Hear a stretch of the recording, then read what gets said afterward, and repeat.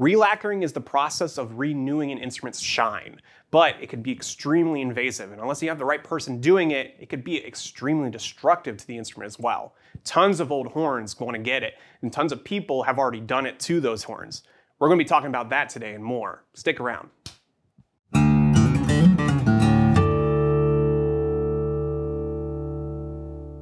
Howdy everyone, my name is Andrew King and we are here at Alamo Music. Don't forget to visit us at alamomusic.com where we have all items we're going to be talking about today listed there.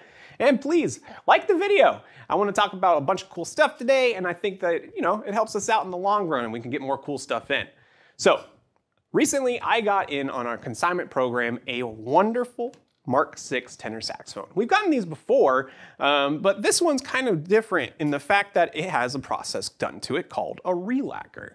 Now, if you've looked at Mark 6s online, you can see that prices range wildly. I would say as low as probably like $4,000, maybe even lower, but it can go all the way up to like 15,000 if you find one with the amp and everything. So there's tons of variations. And one of those processes that have really taken to that price difference is going to be the process of relacquering. Now, if you heard the, if you're a saxophone player and you've heard of the process of the relacquer, you know that it's kind of a bad word. It, it's it's basically what happens when an older collector of the instrument from back. It, it was very popular in the 80s and the 90s for sure, um, but basically. The instrument's lacquer would kind of chip off over time. It, these are battle tested horns, players use them every day, things just happen. And so they wanted to get it to shine again, kind of like this, right? But what ends up happening is the process for it is incredibly invasive. And unless you have someone that's extremely experienced in that craft, a lot of things can go wrong. And it did for a lot of saxophones. The Mark VI in particular is extremely infamous for this because a lot of the time what ends up happening is a lot of the aspects of the instrument that are it's known for end up get, getting ruined by the relacquering process things such as the material used, the gloss used to relacquer it, uh, the tone holes, all kinds of stuff. And we're just gonna go over that today, what to look out for and what to make sure you're looking into uh, when you purchase an instrument like this. Um, this is gonna apply for any saxophone. I would say even up as late as like the Series 2 or the Series 3 uh, Super Action 80 are gonna be vulnerable to this. Um, the relacquering is uh, very invasive, like I said. Uh, the process is basically where the instrument is torn down uh, completely. It's taken apart completely by a repair tech. Then all the lacquer is stripped off of the horn uh, that it previously had. So any kind of lacquer from when it was originally manufactured is completely stripped off. And that means lacquer on the body, tone holes, keys, all of that is taken off. After that, the instrument is put into a gloss bath, or basically where it's going to be put into, and then it's completely covered, and then it's going to be dried out so that it completely covers it.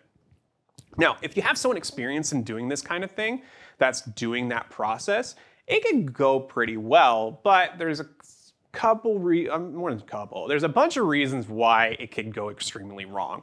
Aesthetically, the color is going to be completely different for most of these. This one in particular, as you can notice, is very much akin to its more current uh, current Selmer uh, saxophones.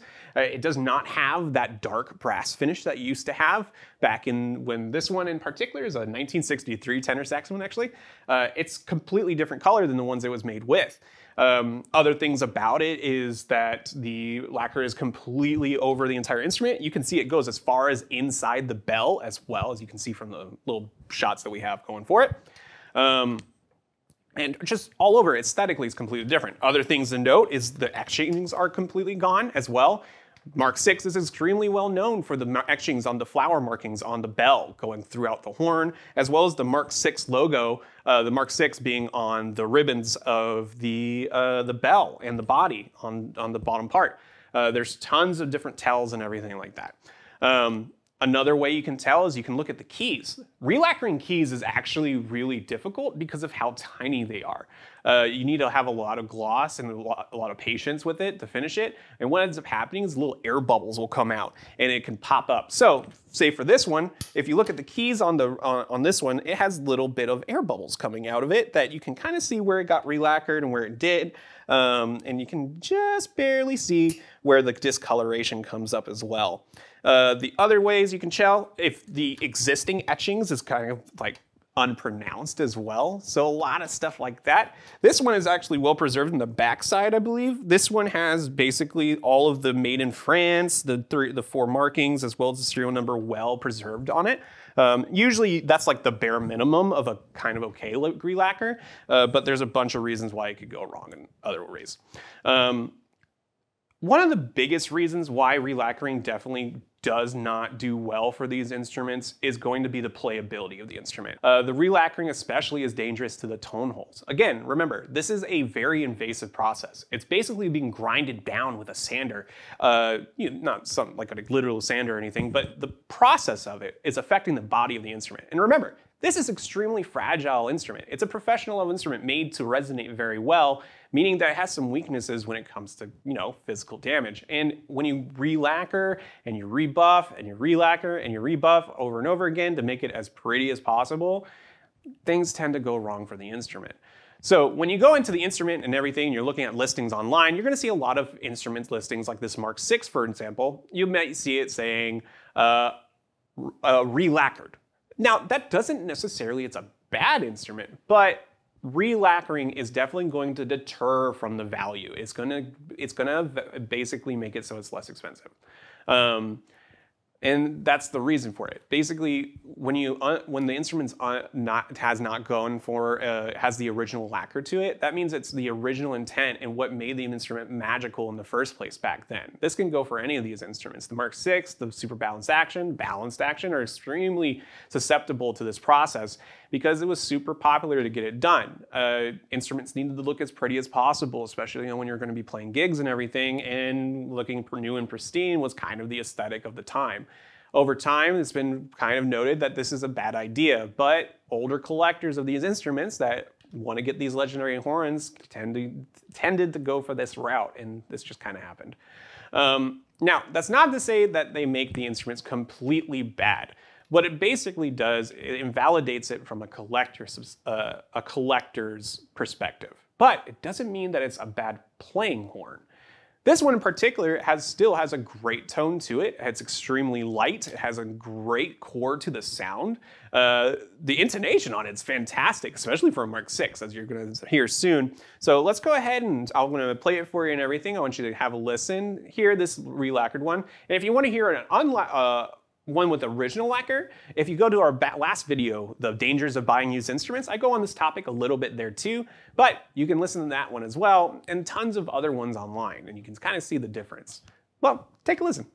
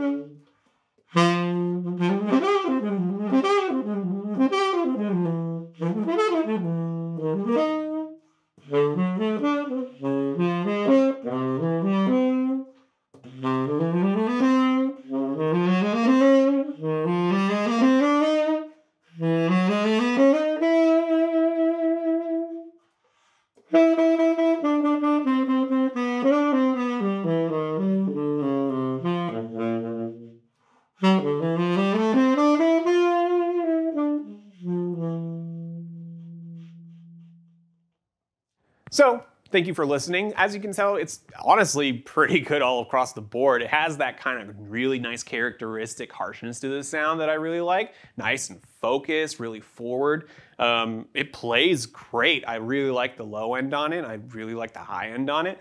Um, so yeah, Tell me what you think. Thank you for watching the video. Uh, it's been a while since we actually sat down and recorded a bunch of these. So what do you think of the new lighting? All this kind of stuff is going really good. Uh, thank you so much for watching uh, and have a wonderful day.